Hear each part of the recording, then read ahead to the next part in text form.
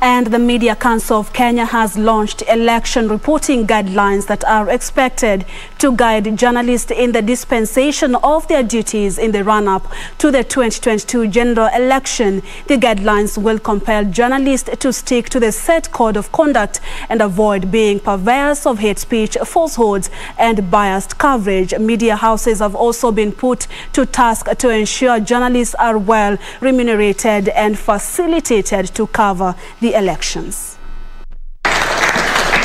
carry the, the, the spirit of the way industry should go.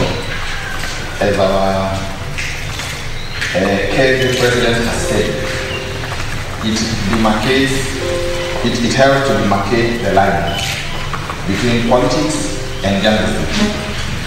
Once everybody has it, every media house, once every media house gets it, you have in your hands something that gives you the basis to lay down the guidelines maybe in your policy. Media houses have internal policies.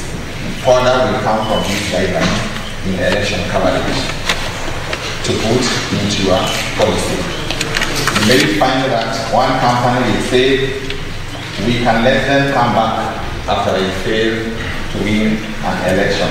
I was a managing editor in a newspaper somebody went and contested and he was very valuable in radio. Sometime later, they are back. Signature tunataka